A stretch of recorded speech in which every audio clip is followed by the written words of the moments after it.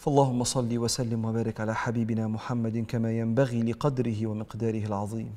إلهي أنا العبد الذي فعل الذنوب وصده ضعفه أن يتوب.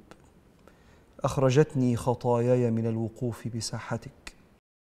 ولم يبقى لي ملاذ ولا إنقاذ إلا بعنايتك. فخذ بيدي إليك وأفنني في شهودك عن رؤيتي لشهوتي. إلهي قد أسرتني إساءتي وصرت مشهورا عند أهل السماء بخطيئتي. فأذن يا لطيف بنجاة عبدك الضعيف وفك أسري من سطوة نفسي. فقد جئتك يكسوني ثوب الفقير راجيا عفوك يا ملك يا قدير. الحمد لله رب العالمين.